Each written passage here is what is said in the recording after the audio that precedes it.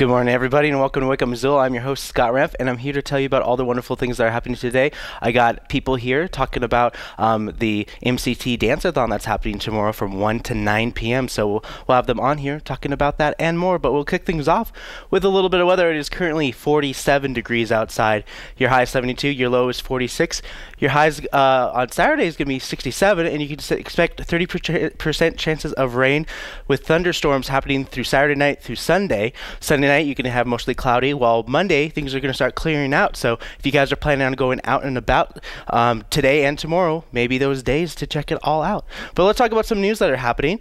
Well, the Independent isn't the only business that uh, Lee Enterprises is closing. Montana Magazine, uh, Matt Gibson announced on behalf of Lee Enterprises that Montana Magazine will be closing after 50 years of publishing articles and pictures on, on Montana living. The, the last issue will be published in as a retrospect of the last 48 years of publishing history. Ad sales have proven to be difficult to gain uh, to publish this magazine. The final issue cover is an image of a cowgirl leading horseback to a barn at sunset. It was shot by Todd Classy of Havre, who is a contributor since 2010. In state news, a Minneapolis bus line is doing some training to uh, look for signs of sex trafficking. Um, so, uh, Jefferson Line is a bus that travels over 14 states between Montana and Minnesota. Busing on the Lookout is the organization, uh, uh, is a Colorado-based program of truckers against traffickers that educate bus companies on others on how to help stem the scourge of human trafficking. Jefferson Lines employees helped detect two cases of uh, two cases thus far. Signs of traffic, uh, sex trafficking include a fearful, anxious, uh, depressed, submissive, tense, and nervousness, paranoid, um, exhibit unusual, fearful, or anxious behavior after bringing up law enforcement and avoids eye contact. Of course, they may also show signs of being malnourished, and they're not allowed to uh, handle money. Uh, they usually let their male counterpart handle all the money. most of the time, these victims are very distant and have issues with remembering most things. A lot of times they seem wasted, but also they could be on heroin because that's the, one of the uh, main uh, uh, drugs that sex traffickers use to get to get uh, sex workers hooked and um, addicted. In international news, South Korean President Moon Jae-in said, "We have lived together for 5,000 years, but apart for just 70. I propose we move forward the big picture of peace in which the past 70-year-long hostility can be eradicated and we can become one again." He said this to uh, Kim Jong Un. Uh, just the other day to pass along the message that Trump and Kim should meet again soon to talk about peace negotiations. Um, it was the third meeting between the two Korean leaders. The first took place outside a demilitarized zone. Before this year, South Korea presidents have visited Pyongyang, hosted by the late Kim Jong il in 2000 and 2007, but neither of those visits included the chance to address the people of the isolated nation. Uh, the two leaders also reached a joint declaration promising to pursue peace, establishing communication channels and develop new economic ties, including railway and roads, and a special tourism zone. Uh, so the next big step in the denuclearization of North Korea, which Kim has said he would do. So far, many spectators have not seen any of the uh, usual rhetoric that comes from Chairman Kim, but time is the only storyteller in the rapidly evolving story. So that's kind of what's happening in the news in and around. I'm going to have some guests on here. They're going to show me a little bit of uh, dance. So when I come back, I'll have them on. So stay with me. thank you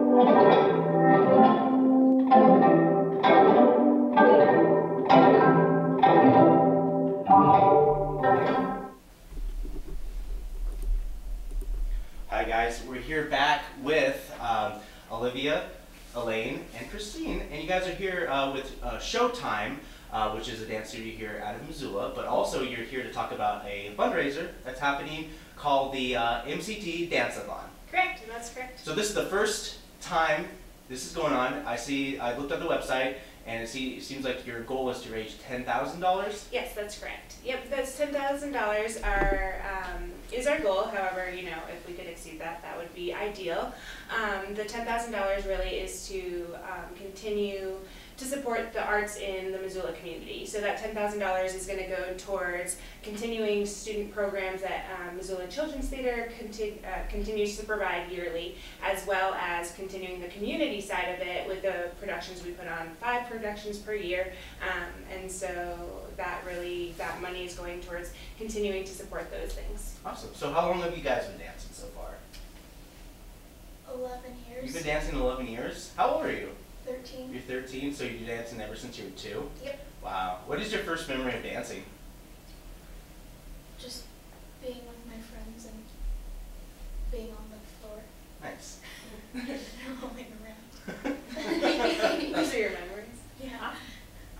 What about you? Um, Yeah. so I've been dancing since I was three, so nine years. And probably my favorite memory is probably all of the long days in the studio on Saturdays and all of the long days. yeah.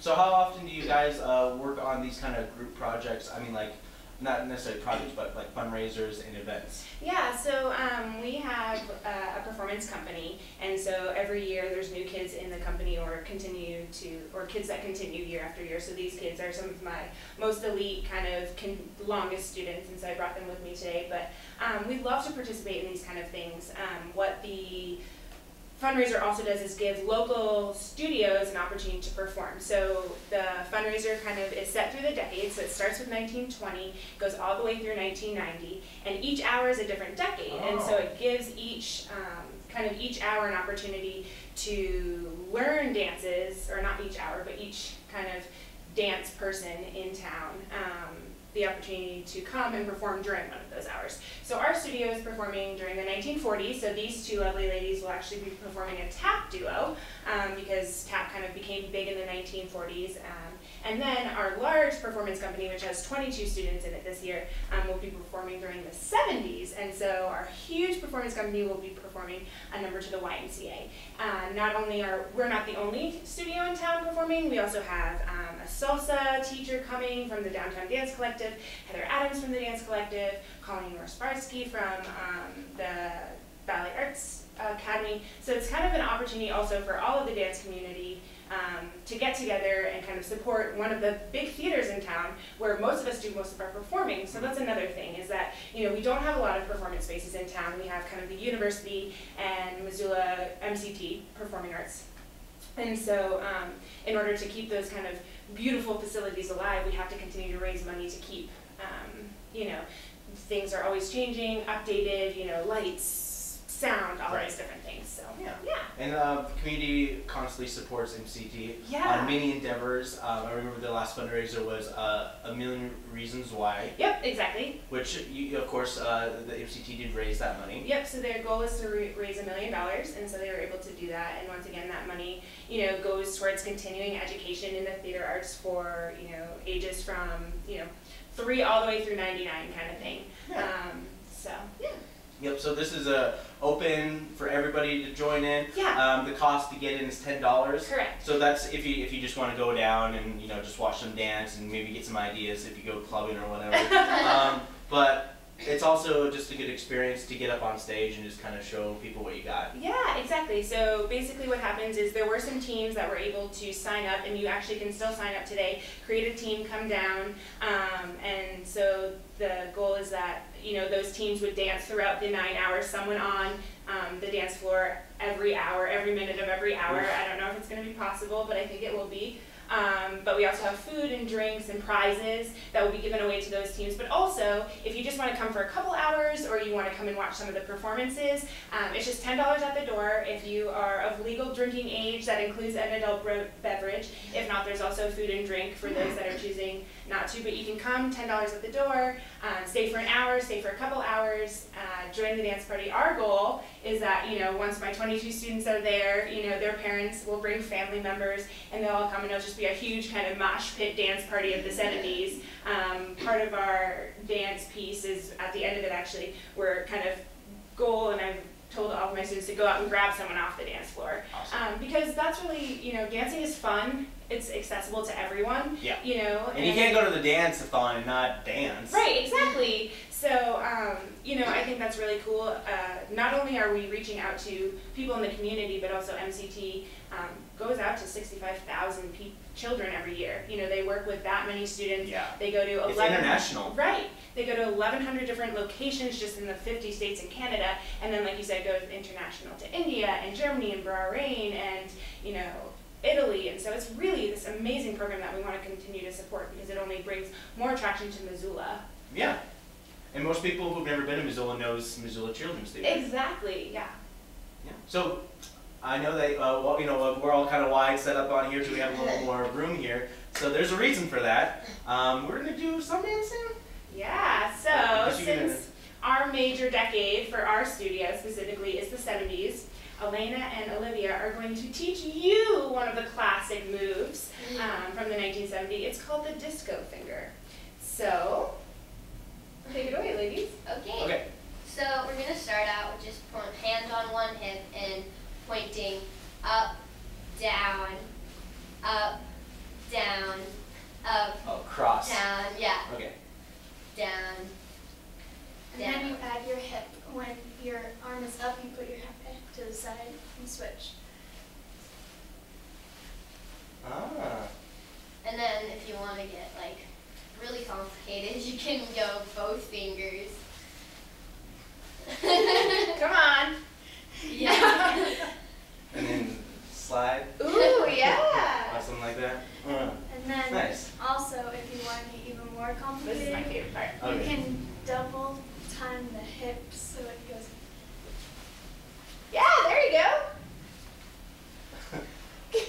I was in band in high school, so I know rhythm. Rhythm, there you go.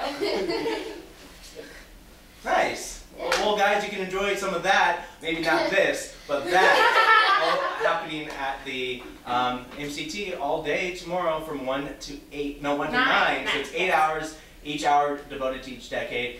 Um, check it out. If you have a favorite decade, you can do go there. But if you want to see what other decades have to offer, that's a great uh, experience as well. So thanks, guys, for joining me. Thank you so much. And support your local theater.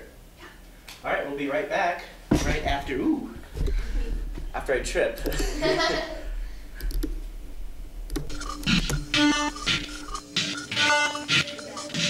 you.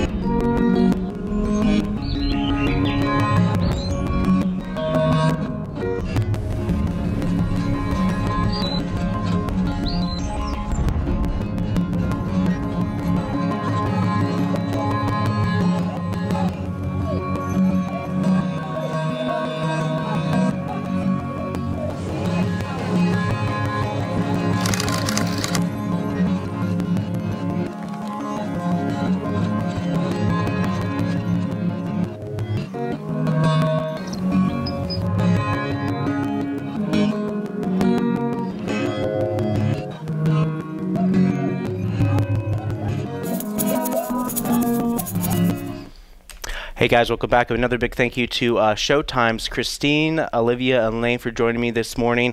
Uh, let's talk about some uh, things that are not, uh, well, let's think, uh, we, we got something sweet. Now let's talk a little bit something sour, or as I like to call it, salty.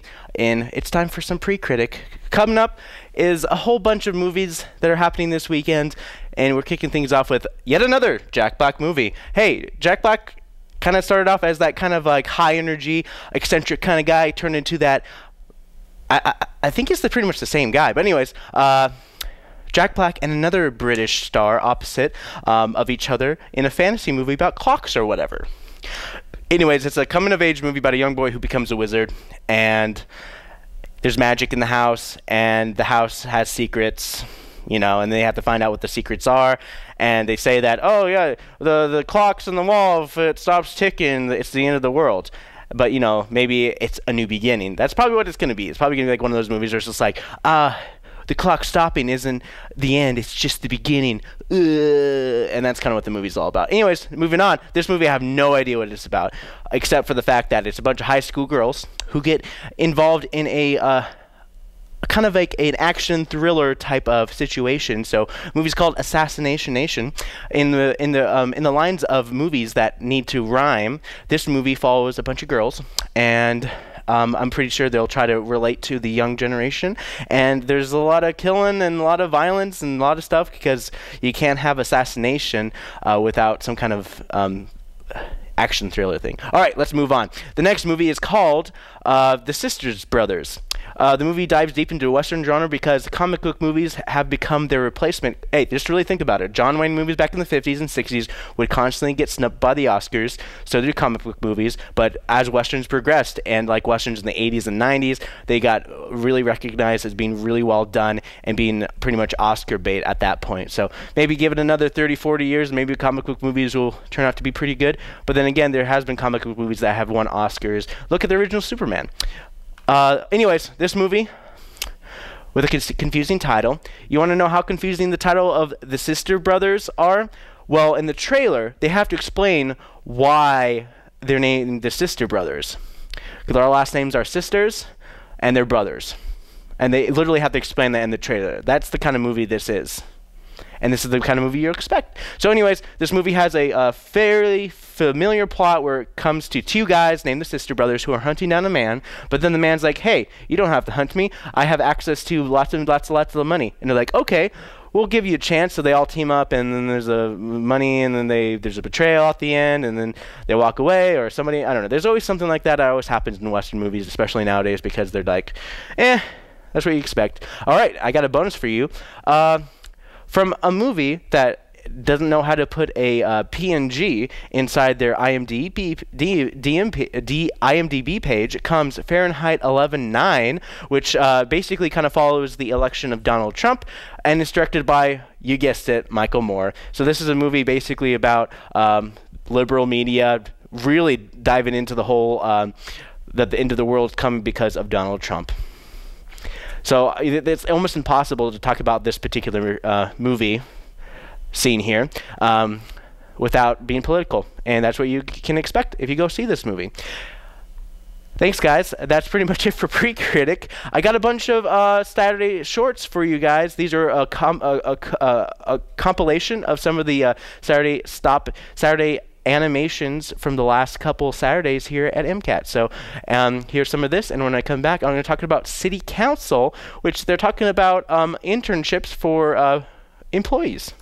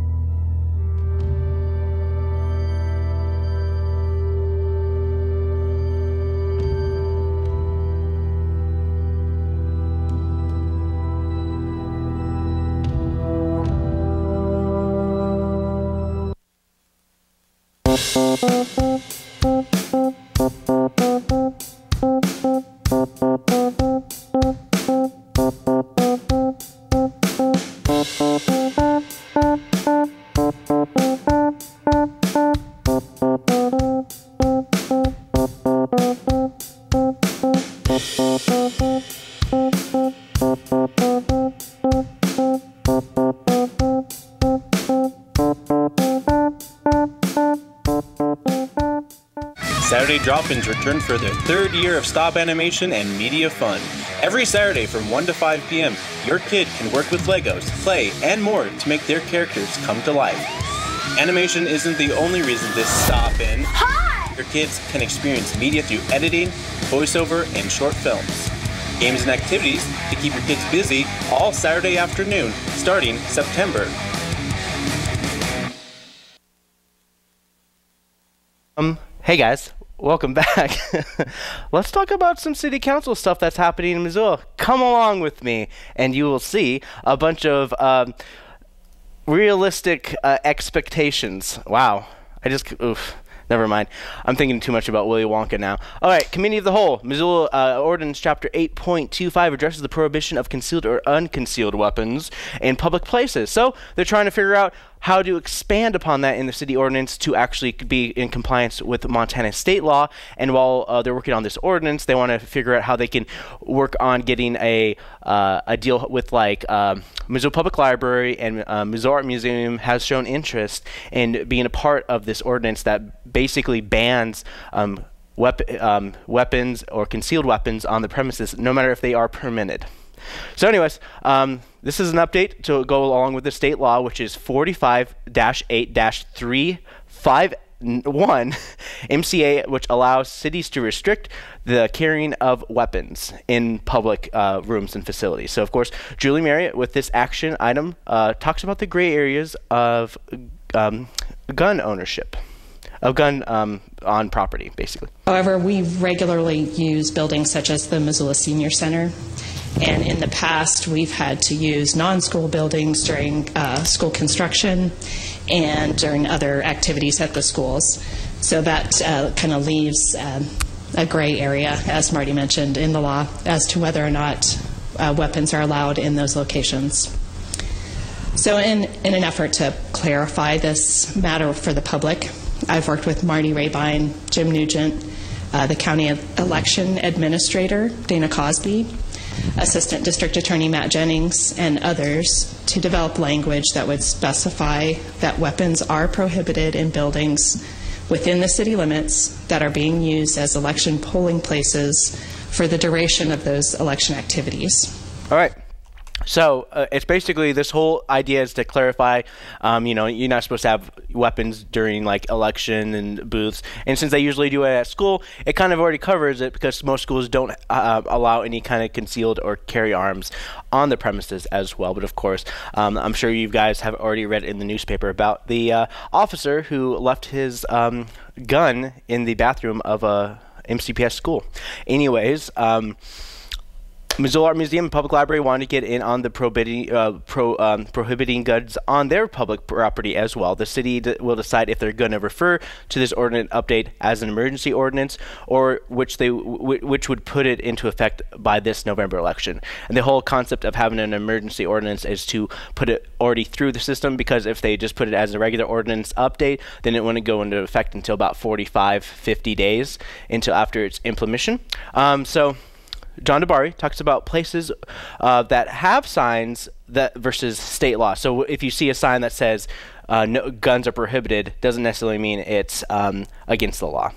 I know that in a variety of locations in the community, there are signs at doorways that say whether or not weapons are, are permitted. Um, and I'm I'm trying to draw the distinction between having something adopted by resolution that says essentially the same thing that you could say at the door. Is is this sort of a belt and suspenders sort of mm-hmm. approach where it's clear? You know, if you look at the door out front here, it says that you can't carry a weapon in here, and so it's not just guns; it's other sorts of things too. Um, so, is this just a way for us to more publicly notice the fact that City Hall and council chambers is a place where those sorts of items are not welcome in addition to the fact that it's at the door or um, Just, I'm, again, just trying to understand the ration, Yeah. excuse me, the rationale behind, like, because I assume that anywhere can post something at their front door and says, say, firearms or whatever may or may not be welcome, and that's, it may or may not be the same thing as having a, a resolution, and I'm curious to tease that out. I th- Those are great questions. The existing ordinance does specify that firearms are prohibited at city council meetings, and I think that's, uh, without knowing that background, but I think that's why the sign is on the front door of this building. Um, The question, as I understood it from uh, discussions with Matt Jennings at the county attorney's office, was the, um, that, that it does leave something of a gray area, and in the matter of someone actually asking law enforcement to show up and enforce something, that's where he felt like he didn't have a good solid answer to give people when they asked the question, and that is the reason for being uh, calling out some of these specific locations. All right. So just because you have a sign doesn't mean you have the uh, law that backs it up.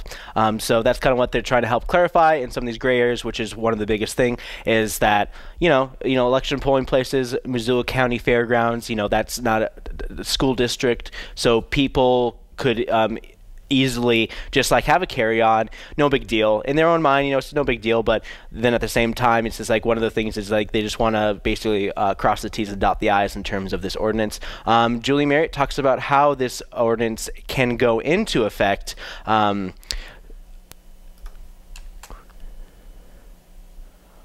assuming it actually plays. Okay anyways um, it doesn't matter I think we kind of. I think you got the gist. Just so you guys know that they're having a October fifteenth public hearing about this updated ordinance. So if you are somebody who is a concerned citizen about this particular ordinance about banning guns, um, which follows on the umbrella of uh, Missoula Art Museum, uh, the public library, um, election polling places that don't involve schools. Um, this is something that you may want to go to the meeting, but also don't bring your guns because the city council chambers actually does prohibit um, concealed weapons or non-concealed weapons in their uh, city council chambers. Just so you guys know. Um, land use and planning, uh, the urban uh, fringe uh, uh, development area project. UFDA was initiated back in 2007 to envision where the next 15,000 new residential units will be developed within Missoula urban service areas. The 2035 city growth policy, or Missoula, refers to UFDA. Um, I just like saying that uh, material and encourages the continued monitoring of residential growth, infrastructure, and associated impacts. Garin Wally, GIS planner with Development Services, talks about our Missoula.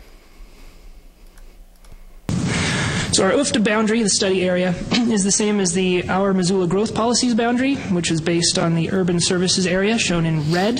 Small difference between the red and the dark, thick black line there. Um, it represents over 40,000 acres of land and currently houses about 9, uh, 93,000 people in about 43,000 dwelling units. Uh, for analytic purposes, this, region, uh, this um, study area is broken down into regions um, whose names are shown on the map.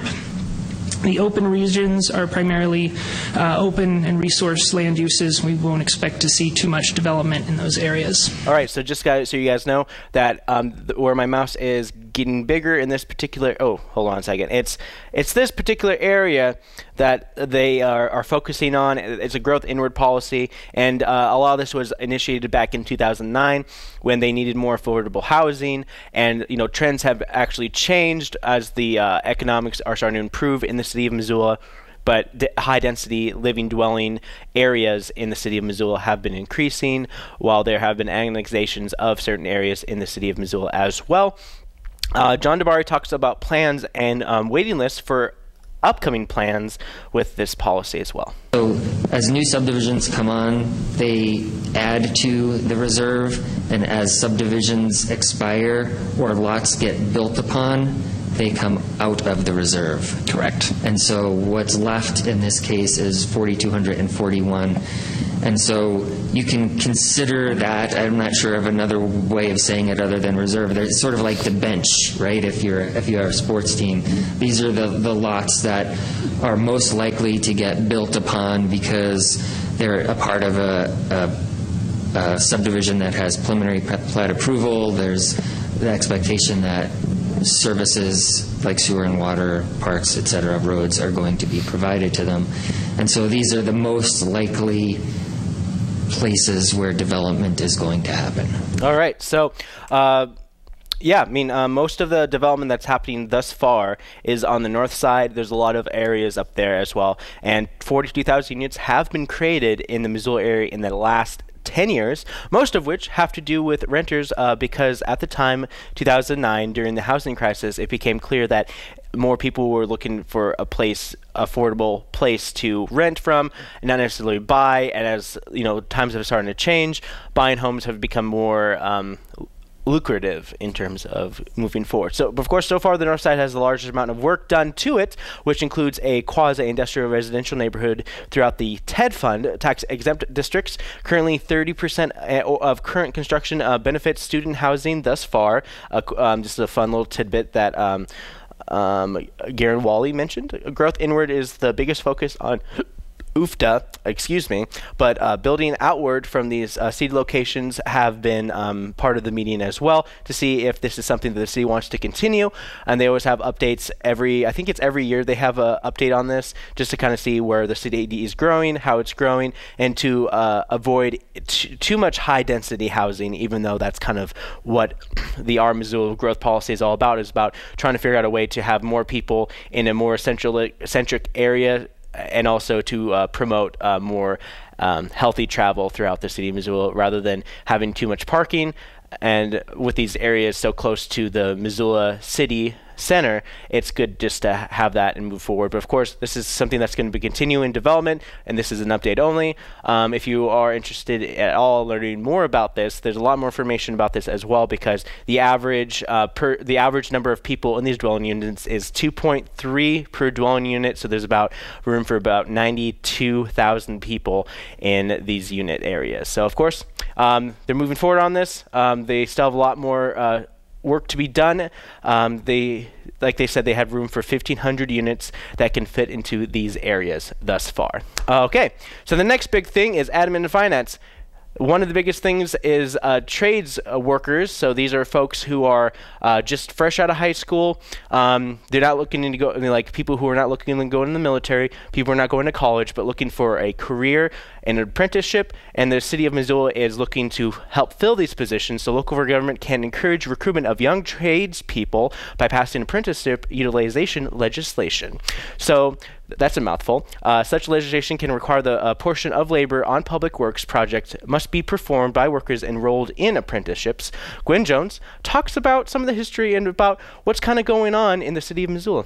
Workforce is a big problem in America these days, and it's especially a problem in Montana. We have an insufficient workforce right now, and the forecast in the future is not good and that's based on demographics and, and some other factors. But it's something that we need to be paying attention to. And it's interesting. I I went through my I was looking at my files at home as I was working on this over the last month or so, and um, I had gone to a 26, January 2016 Chamber of Commerce presentation on the workforce shortage in Missoula. And I pulled out my notes, and I had all these great notes from my first month on council. So I wanted to share some of that with you regarding workforce shortage. And keep in mind, this was two and a half years ago. Wolf Ametsbichler, the director of the Missoula Jobs Service, in his presentation said that Missoula, Montana will face a serious work shortage. Over 130,000 workers will be retiring. There are only 123,000 16 to 24 year olds to fill those jobs. Plus, due to growth, there will be an additional 6,000 job openings created. So, this is a, clearly a huge workforce shortage. And he tooted um, apprenticeship programs as being one of the most concrete, effective ways to create the workforce in the future. At the same Chamber of Commerce presentation, Barbara Wagner, chief economist for the Montana Department of Labor, also noted that a key tool in reducing time out of the labor force for retraining is apprenticeships. And then finally, on that same day, Wendy Koster of Diversified Plastics, a Missoula based manufacturing company, noted that regarding issues in manufacturing in Missoula, a key issue was that there is a skills gap but that companies are happy to train employees. So I thought it was fascinating that of the three people presenting, this was a common theme. All right, so Gwen Jones uh, talking about a meeting that happened uh, a couple years ago um, about something that um, the city of Missoula has not um, engaged in. Of course, Heather Harp ha- uh, responds to uh, Gwen Jones' um, comments. It, it seems like the time is right in terms of trying to be proactive and not reactive um, during this time of boom. And at some point, we're going to go through another, another period, and we're going to lose employees again. And and either we can let it happen, or we can we can try and move the needle here. And I think that's what we're attempting to do. All right. So uh, the city of Missoula, uh, moving forward, uh, from what I've seen through the past meetings of city economics, workforce, they've done updates on workers. Uh, the uh, I think it's the Missoula Organization of Employees or Employers, um, and they did an update. Um, and the one thing that I always seem to see all the time is it's not necessarily a lack of employees. It's the um, but it's so called the uh, the lack of on-the-job training uh, for young professionals. Missoula, in my opinion, my opinion, uh, doesn't have an employee issue, but an employer issue. Putting on notice. Okay, okay. So Alan Frankel, part owner con- uh, of a construction company, uh, is having trouble hiring skilled labor, and this is his reaction to this. Easy button for this, um, but I, I don't think there is. And my opinion is it's it's not a resolution that's going to change that. It's not um, you know any sort of regulation that's going to change that. It's a cultural change. Um, my opinion is that we don't push the trades at the young level or at the the level of our youngsters when they're coming up through college or through high school and looking towards you know the, the rest of their future. Uh, and I have options other than college. We force them, push them, encourage them to stay out of the trades and I don't know if that's purposeful, um, if that's done on purpose, or if it's just, um, you know, it just happens without us knowing it. But as a society, we're not allowing people to understand that there are uh, good careers, very good paying careers uh, in the construction and skilled trade industries. All right, so. Um, currently, um, a lot of times in construction, skilled trade industries, um, um, my cousin um, makes $18 an hour and he's 20 years old. So he works in construction companies as well. Um, and there's a lot of uh, back and forth. Of course, Mr. Frankel, he also thinks that uh, the trade ordinance would also not help and um, would would also uh, limit competition, and by limiting competition, you uh, raise the um, you know when competition decreases, cost goes up. Ben Dawson, IBEW, with the International Brotherhood of Electrical Workers, has this to say has this to say in response to this uh, legislation. One of the things I'd like to talk about is sustainability, and we've all talked about the shortage of workers within the United States. And that's just going to be the reality of it, that as more baby boomers are leaving the workforce, that we have to make a concerted effort to try and replace them and train them. And not saying this is the silver bullet or this is exactly what everybody's probably going to walk away saying that they want, but we have to start somewhere. Had we started two and a half years ago when Chamber of Commerce was meeting with Gwen and talking about it, we'd be two and a half years ahead of the problem than we are now. Um, I completely agree we need to get in front of high schoolers and give them options besides college and the military. Not that I have anything wrong with either of those institutions. I think they serve our country greatly. Um, but it's important that we plug people in where their skills are going to best match. I see this as an opportunity to incentivize contractors instead of running a five person crew of all journeymen who already know their craft. Carry at least one apprentice with you you know, be thinking in terms of, am I contributing to replacing the workforce in the future when a couple of my guys retire out? Am I ready uh, when my foreman retires in five years to replace him and then have somebody in a succession order going back? Um, so I think this request is a great start. Um, again, it's still flexible. There's room for other ideas, and I appreciate you guys opening this up for public comment. All right, so um, yeah, that was some of the comments. Uh, a lot of construction um, contractors that work with the city and work in the city of Missoula for uh, replacements and public works and whatnot. Uh, I'll kind of have a consensus about um, they want to have more apprenticeship opportunities, but also they don't want to uh, disenfranchise uh, some people with uh, an, an, unfair competition because uh, some contractors they want to work with the city in terms of this, but other contractors um, who weren't at the meeting want to be represented as well. To so it, it's it, it's it's an interesting kind of evolving situation, and um, a lot of the contractors say they don't want the taxpayers to uh, pay for something like this, which they can already do in their own right. Okay, so Dennis Bauman, D- Dennis Bauman, uh, director, uh, deputy uh, director of public works, um, thinks this could be a good way to start a conversation between contractors and the city of Missoula. People here that um, that are contractors, been in the business for years or whatever. So I think if both parties can work together, you might have a better solution than just a resolution so to help out the workforce within the community. So. Thank you. All right, so that was a, a, a nice little short uh, quote, but a very uh, poignant one as well. Um, some of the comments were against the city uh, budding into contractors' ability to get their own apprentices. Uh, um, Bryan von Lossberg comments with uh, Dave Zinke with Knife River Contractors, uh, kind of going back and forth the fact that we don't culturally, you know, value those things and then the progression of opportunities with those things as well. But I wonder if if this isn't the opportunity to for the community to express that we do value these things. And I, I, couldn't agree more that I think there's a whole cultural shift of which this may just be one small part of, but I think it's an important potential part for the community to step forward and say, we value apprenticeships and the, the, the, possibilities that these lead to.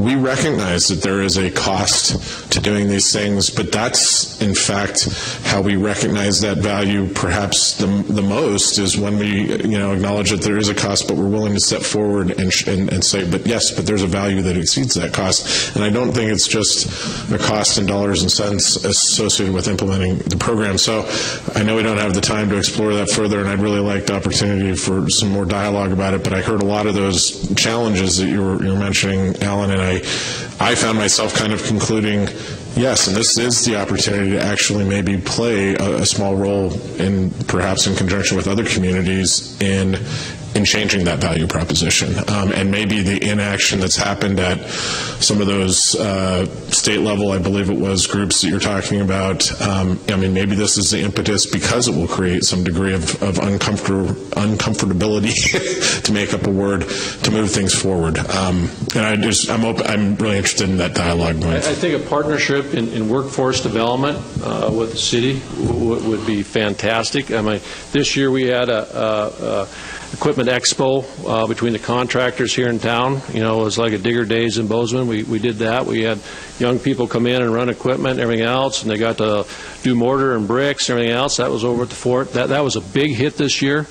Uh, so I would think involvement like that would be really a fantastic partnership, uh, other than controlling the contractors how they operate their workforces. That's my concern. You guys have the low bid let the contractor go, go do that to get your lowest cost on, on your facilities.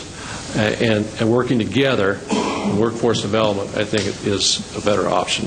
I appreciate that. All right, so that was uh, Dave Zinke uh, kind of giving his um, um, comments on this. Of course, primarily Dave wants the city to only be involved if it doesn't show any favoritism towards one contractor, contractor over another, because apprenticeships that are being sponsored by the city of Missoula tends to go for the lowest bids. And um, cheaper contracts, and that would create the unfair competition that uh, Dave Zinke and other uh, contractors in the city of Missoula are also concerned about as well. This will be tabled until another meeting, which will happen on October the 10th, which is a Wednesday.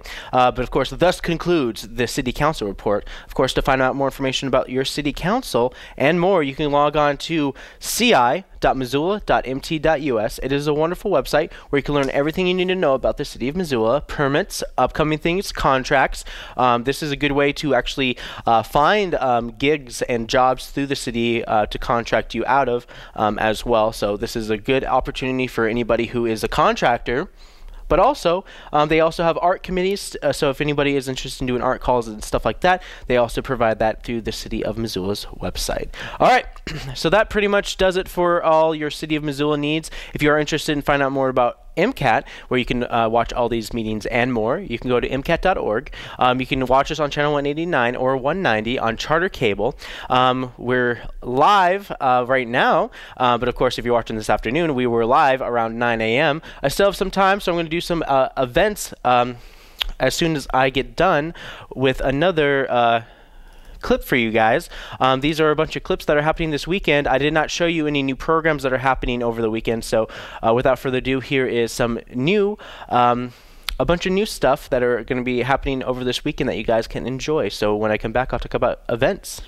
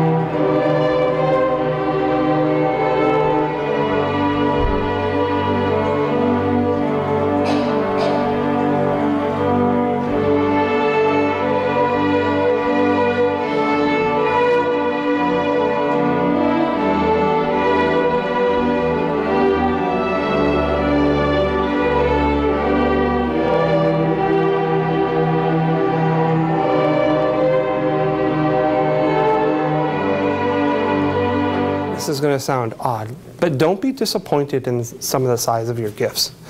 Um, I've done a lot of fundraising, and one time the envelope came back to me and it, it rattled. And I'm like, Are you serious? Yeah, I literally thought, I got change. And I opened it up, and it was a dollar and 63 cents. And I thought, oh man, inside of that was a note. And it was from a lady who I knew who said she was having a really hard time in life. Her husband was really sick. He wasn't able to work. The only spare money she had was a dollar and 63 cents. But she believed in the cause I was asking for, and she believed in it. She gave me a buck 63. Wow. And I learned right then, and you can't ever be disappointed. What that told me was, when I got that, it just means I need to make another ask. Doesn't mean I stop asking, I just ask more people. And so I know it sounded odd to say not be disappointed, but it's not the number on the checks, it's the number of checks you get. This is a lot of what this is, and 2016 is not exceptional in this regard. Uh, since the advent of the modern campaign in 1960, this has been the mode that you reach a lot of the country through television advertising, and then you reach a lot of co- the country by shaking hands and doing candidate visits and rallies and so forth. So the, the Electoral College really dictates the states that matter to the detriment of other states that don't matter. We need to acknowledge the fact that asking questions as well as challenging the responses to those questions is what we do as faculty every day in our own work, in our disciplines, and it is arguably the most important outcome of our students' education here. And we need to acknowledge that for UM to transform lives, we all must be committed to introspection and informed action alike. We value diversity of opinions and perspectives in shaping our path to the future. And so I look forward to working with a renewed spirit of collaboration, both among the faculty and across the entire campus. So there's plenty of, there's an ample forage on the Henrys to, for all, you know, all the animals. But sometimes the, the problem is, is they want to use the same places. So it's more of a distribution than it is the amount of forage. And so right now, we're trying to work through that by maybe trying to, we're trying to come up with a cooperative grazing management plan. It's a real process. It's going to be very similar to uh, the whole process we've been through. But we're actually in the middle of negotiations about that right now, trying to figure out how to move cattle, have the ability to move cattle into areas where bison aren't using, so, or if they, if they move, you know, where we can change things around. So it's pretty complex, but uh, we've got some situations in northern Utah now where we just where they just implemented a cooperative grazing scheme on an entire uh, watershed, and it's it's actually probably going to work out really well. That's the same kind of thing we're working for. So we need to look.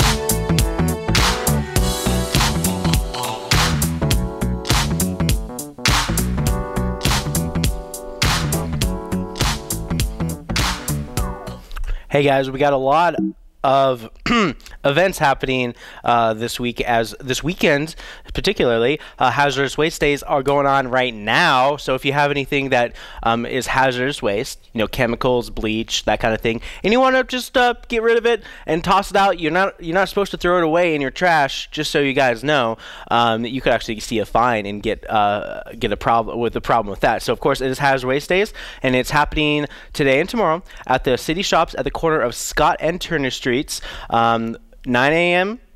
to about 5:30, and then uh, Saturday from 9 a.m. to 4 p.m. Displays oil-based paints, thinners, pesticides, solvates. Latex paint is not accepted. Um, it can be dried out with a kitty litter and thrown away.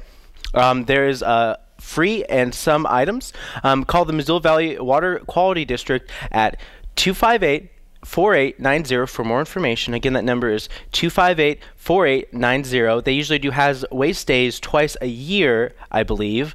Uh, they might be doing it three times a year soon.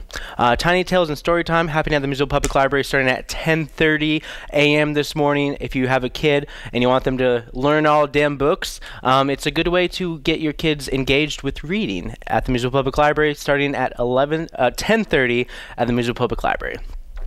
Pressure everything's under pressure, but you can learn about pressure with Jen Fowler, which is a special guest at uh, Spectrum Discovery Center.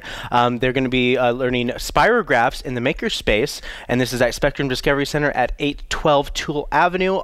Their uh, facilities open at 11 a.m. Yarns and watercolor, go back to the Missoula Public Library to stitch, or you can do some painting with some watercolor um, at the Missoula Public Library starting at 12. And also around 12 o'clock, if you're interested in having a little bit of lunch and doing a little uh, bit of board games, whether it be cribbage or bridge, um, or some of the games that they have at the Missoula Senior Center, come join them at the, the best dance floor in the city of Missoula at the Missoula Senior Center starting at 12.30. Um, Fall risk screening, Missoula Senior Center. Uh, this falls are not a consequence of aging, although one in four seniors fall every second. Um, wow, that's a lot. That's a lot of seniors falling. Sorry, I don't mean to make a joke about this, but it's true.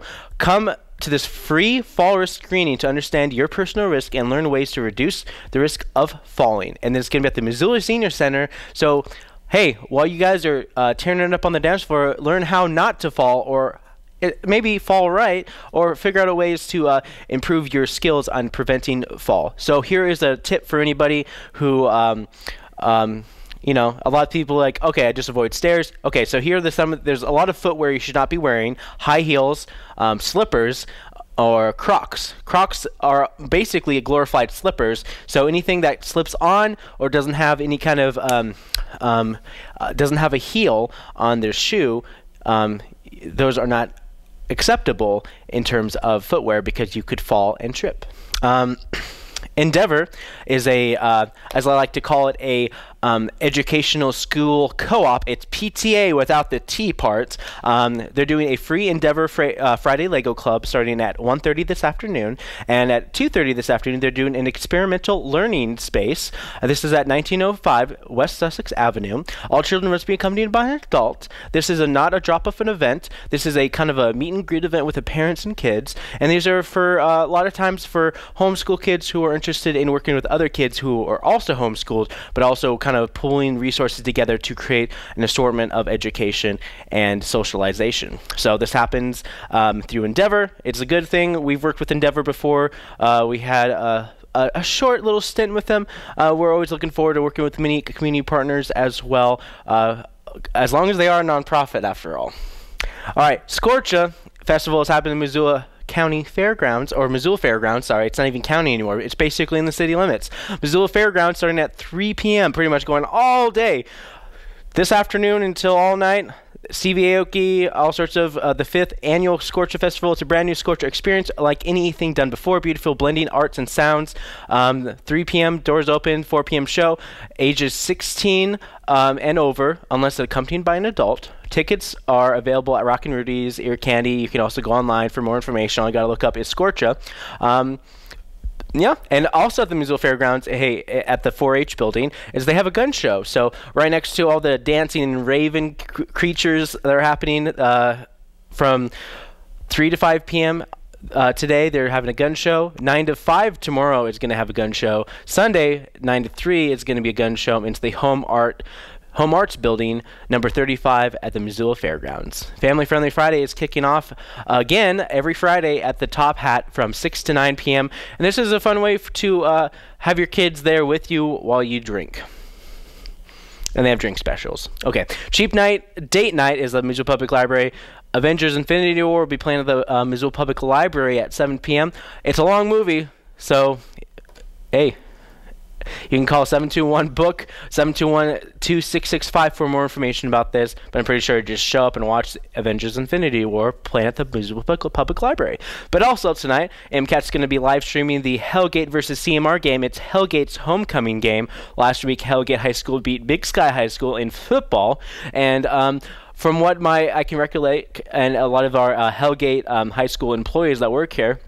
Hellgate hasn't won a football game in 10 years, so we're, uh, we're um, it should be pretty exciting to see how they play against CMR Russell out of Great Falls tonight at 7 p.m. And if you can't make it to uh, the MCPS Stadium, um, aptly located at South, uh, 3100 South Avenue, Big Sky High School, uh, which is where they have the stadium. um, you can watch it on our Facebook page, um, Missoula's Community Media Resource. If you like us, you get all notifications about when we uh, are go go live. So you can check all that out and more. Missoula's Community Media Resources Facebook page. All right, so let's skip on over to Saturday. If you guys are interested in going out and about on uh, Saturday, uh, kicking things off is the farmers market. Farmers market's still going on strong. Um, two weeks from this Saturday is our homecoming parade. So um, Farmers Market will be still going strong well into October. So from 8 to 1 p.m. Farmers Market, rather Red X's. Pine Street will have the People's Market, and underneath the Higgins Bridge, where you can troll all you want, is the Clark Fork River Market, all happening from 8 a.m. to 1 p.m. Diva Day, Diva Day 5K um, Community Medical Center is uh, celebrating women um, in Missoula and throughout Western Montana in the Diva 5K Run Walk event. Be part of this event that promotes empowering women of all ages and abilities. Western Montana Divas are resilient, influential, fierce, confident, powerful, determined, strong buzzwords. Join our community of mothers, daughters, sisters, grandmothers, friends, and family and make the most of this awesome morning filled with physical activities. Um, camaraderie and laughter and it's uh, all participants receive a finishers um, medal, exclusive race swag, access to Diva Day Expo, all sorts of stuff. And um, Run Wild Missoula members receive a $2 discount. Uh, family fun time at the Missoula YMCA from 9 to about 12.30 p.m. YMCA promotes the uh, family uh, activities at the YMCA off of their Russell, um, um, Russell uh, location sorry. Um, so this is a family film time. It's twenty-two dollars per family, uh, so you can have a family of eight kids, and it costs twenty-two dollars. Hey, you save money. and uh, starting at 9 a.m. tomorrow morning. And also, there's a lot of stuff happening. It's the seventh and uh, seventh annual seventh. Seventh, seventh annual baby fair is going to be at Caras Park starting at 10 a.m. So if you're at the farmers market, anyways, go check out the baby fair, and they'll be teaching kids and um, about you know you know like activities fun activities because this is a good way to uh, um, find the right kind of things um, they also uh, have animal wonders there so they're going to have animals child boom guitar center Kanga training, sailing auction, food, ice cream, all what you can expect from any event that happens, and this is happening at Caras Park starting at 10 a.m. National Public Lands Day at Milltown State Park. Milltown State Park is looking for volunteers to help keep their park up and also creating some um, trails. So it's a new uh, part of the TLC. The, the 0.5 mile floodplain trail has almost vanished from the landscape, and they need to bring it back to life. Join Montana State Parks AmeriCorps members for some beautiful days alongside the Clark Fork River, taking in views and digging up the dirt. Milltown State Park was created after uh, years after they tore down the uh, Mil- uh, the Bonner Milltown Dam. So Milltown State Park is a new park, uh, relative new park, just beyond the Bitterroot Trail. If you go further um, east out of Missoula. So you can check that out. And also, I just want to thank once again our uh, our guests here um, for joining me th- this morning. Um, the, the Danceathon is kicking off Saturday at 1 p.m. and from 1 p.m. to 9 p.m. it's going to be celebrating uh, each decades of dance from the 1920s to the 1990s. All sorts of dance, all sorts of things, all sorts of organizations coming together to uh, help raise $10,000 or more I mean, you never ask for too much money in a fundraiser um, at the MCT fundraiser. MCT, it's going to be at MCT Center for, for, for, for Performing Arts. It's $10 to just go in and speculate, or if you feel really confident, you'll jump up on stage and dance, but don't expect to go to the dance-a-thon and not dance. So that's starting at 1 p.m. Um, also, starting at 1 p.m., in conjunction with everything else, is our Saturday drop ins. Hey guys, if you have a kid you want to drop off here on our Saturday drop ins from 1 to 5 p.m., MCAT has Saturday drop ins $10 a pop, $10 a kid. Um, it's fun. Stop animation activities. If your kid is interested in doing a half day, maybe even checking it out, just a little little taste of some stop animation stuff. Starting, uh, uh, they have half days for five dollars, so you can check all that out. Um, Grizz football, Washington Grizzlies Stadium. You can come cheer on the Grizzlies as they take on Sacramento State, which is one of their many rivals. Um, uh, that's all happening at one. There's three different events happening at 1 p.m. You have all the options. Um, usually, there's literally nothing happens in the afternoons on Saturdays or pretty much any other day, but MCAT, the University of Montana, and MCT has everything that you need to enjoy your afternoon right. Um, 18th annual fall gathering, Moon Randolph Homestead. Um, Saturday, 22nd, uh, full moon, ha- full harvest moon, and another season's gone by on the Moon Randolph Homestead's 18th annual fall gathering. They harvest feast, cider, and beer, apple pressing, live music, and the Scrappy Yard Lullaby West Fork music and dancing under the full harvest moon. Family friendly, the fall gathering is the largest event and the fundraiser of the year, supporting the efforts exploring and celebrating Missoula's human, ecological, and agric- agricultural history. All, pre- all proceeds benefit the Moon Randolph Homestead. And also tonight, if you're can't get enough of that Grizz, Grizz volleyball. Um, the, the, Lady Grizz volleyball team takes on Portland State, another state um, named after a city. Um, uh, Sunday, yes, there is a Sunday. Let's kick some things into Sunday. Of course, I've probably gone over my time, but who cares? Safe Kids, uh, Missoula State Fair uh, Community Medical Center, starting at 12 p.m. Join us for the 2018 Kids State Fair. Um, it's fun, free field activities happening at the Community Medical Center, and this is to encourage kids to be safe and and work and actually meet and greet some of the uh, fire workers um, in a positive experience and learning how kids can um, go through a, a, smoke vehicle. So if they they have a trailer that they bring out and they uh, have a pretend fire and stuff going on like that as well.